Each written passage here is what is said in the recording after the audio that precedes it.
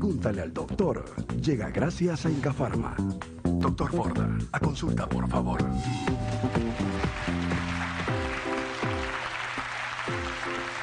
Amigos, ya ha llegado el momento en el cual nosotros tratamos de contestar las preguntas de nuestro público en Pregúntenle al Doctor TV. ¡Vamos para allá! ¡Hola, señora! ¿Cómo le va? Bienvenida, muchas gracias. Doctor, buenas tardes. Buenas tardes. Quisiera saber cómo puedo controlar una taquicardia.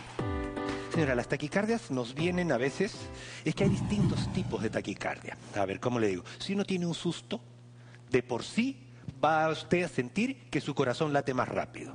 Si usted tiene una discusión o si usted tiene algún, algún problema de un momento a otro o sube las escaleras, le va a dar taquicardia. Existen algunas cosas que uno puede hacer para evitar una taquicardia. Un viejo truco es apretar la arteria carótida, señora, que tiene unos varoreceptores. Y uno la aplica contra la manzana de Adán, así. Haciendo una especie, un, un- un- un masaje acá, y eso puede hacer que baje una taquicardia. Hay que aprender a controlar el estrés, hacer el ejercicio adecuado para nuestro entrenamiento, tener una dieta rica en magnesio para disminuir los latidos cardíacos, minerales, vitaminas, disminuir la cafeína. Pero sobre todo, señora, si usted tiene taquicardia constante, lo más importante de todo es acudir a un cardiólogo para buscar la causa de esa taquicardia y así tratar el verdadero problema. ¿De acuerdo? Muchas gracias. Gracias a usted. Hola, ¿cómo le va? Bienvenida, muchas gracias. A la Buenas orden. tardes. Dígame, ¿cuándo es seguro iniciar la vida sexual después de un parto? Lo ideal, se dice, es que es inmediatamente después del puerperio. O sea, tiene que ser de preferencia después del primer mes o de los 40 días después del parto. Pero todo va a depender de cómo se sienta la, la señora. ¿De acuerdo? Porque hay mujeres que quedan con una susceptibilidad muy, muy, muy aumentada. eh, cambia un poquito hasta la forma de pensar después de dar a luz. Y por último, no todos los pacientes reaccionan igual ante el mismo estímulo. La idea es que uno puede volver a tener intimidad con su pareja cuando los dos se sientan cómodos. ¿Te parece? Gracias. Hola, ¿cómo le va? Señora, ¿cómo está? Mucho gusto. De igual manera, señora, dígame. ¿Cómo se presenta la hemorragia cuando es en la vista?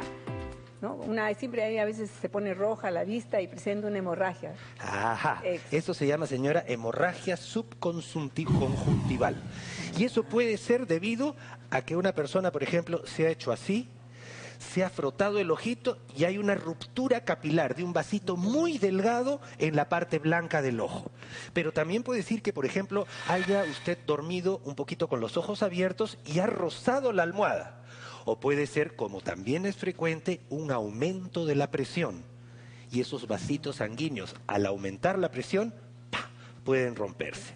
Sea cual fuera la causa, señora, afortunadamente estas hemorragias subconjuntivales no son tan malas como parecería que fueran. Pero ante una repetición de estos mismos síntomas o estos problemas, debe acudir de todas maneras a un oftalmólogo, señora, y chequearse la presión. Muchos de estos problemas se deben a un aumento brusco de la presión que rompe un vasito sanguíneo. ¿De acuerdo? Gracias. Otra preguntita. Señora, ¿cómo está? Bienvenida.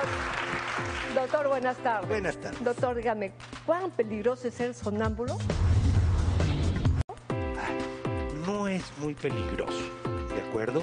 Porque normalmente el paciente sonámbulo tiene frenos, son conductas ya aprendidas. No es que una persona sonámbula va a ir caminar por el balcón y se va a tirar. No, son conductas aprendidas. El tema es que la persona está dormida y una de, un despertar brusco, violento, puede afectar de alguna manera esta tranquilidad que produce el sueño.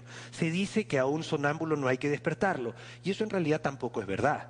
Hay que despertarlo con mucha suavidad, con mucha paciencia, y no tiene que estar totalmente lúcido, simplemente acompañarlo nuevamente al sitio donde descansa y revisar. Ahora, eh, han habido casos, ha habido casos en los cuales una persona puede, busca la llave, abre la puerta y sale de la casa. Muy raro, se han descrito, pero así no se comportan normalmente los sonámbulos. Muchas gracias, doctor. A usted tenemos una pregunta. Hola, ¿cómo le va señora? Bienvenida, gracias. Doctor, ¿A qué se deben las constantes contracturas musculares? Ajá. Señora, una constante contractura muscular puede ser a un mal movimiento realizado repetitivamente, o a una exageración del ejercicio, o a falta de magnesio, o a varias otras cosas. Pero en principio podríamos decir que la contractura muscular permanente puede ser debido a la falta de relajación muscular ocasionada desde el estrés hasta una falta de potasio. Sugerencia, un bañito tibio antes de acostarse ayuda a relajar los músculos. Suplemento de magnesio, comer plátano y agua tónica. Son algunos de los consejos que podemos darle para prevenir el espasmo muscular y mejorar la relajación de los músculos. ¿Le parece? Señora, la dejo con el micrófono.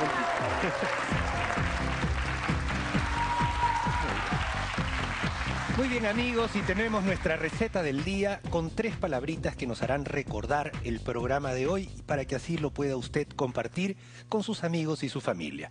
Hemos hablado en primer lugar de la hepatitis. Hemos dicho, todas las terminaciones en itis incluyen el proceso de inflamación, en este caso, inflamación del hígado.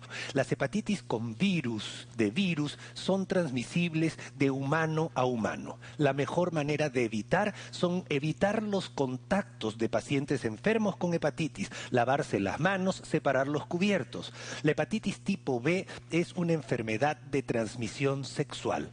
Utilice preservativos para tener sexo y, lo más importante, también tiene acceso todos tenemos acceso a la vacunación. Se pretende en este año iniciar un, trabajo para erradicar la hepatitis B del mundo. Ojalá lo podamos lograr. Luego hemos visto el caso de María Ángela, de 30 años, que desde los, desde los 17 años ha tenido problemas en relación a convulsiones.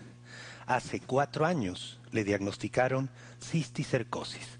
Hoy, aquí en el tubo de la verdad, tratamos de mejorar y ver cuál es su verdadero diagnóstico. No se lo pierda. Por último, una gran maravilla de la naturaleza el aloe, señor, el aloe, que es una planta que a veces algunas personas le tienen temor por la forma puntiaguda que tiene. Pero el aloe por dentro es una maravilla de la naturaleza.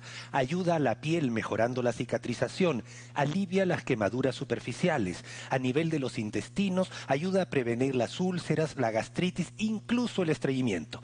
Hay productos ahora hechos con aloe, hechos para incluso hasta para beber. No solamente está en las cremas faciales. Aproveche esta verdadera maravilla de la naturaleza, el aloe.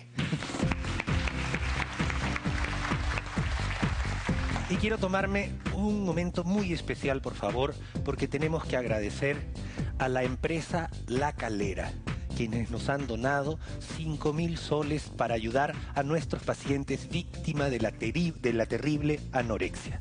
Muchísimas gracias a nuestros buenos amigos de La Calera.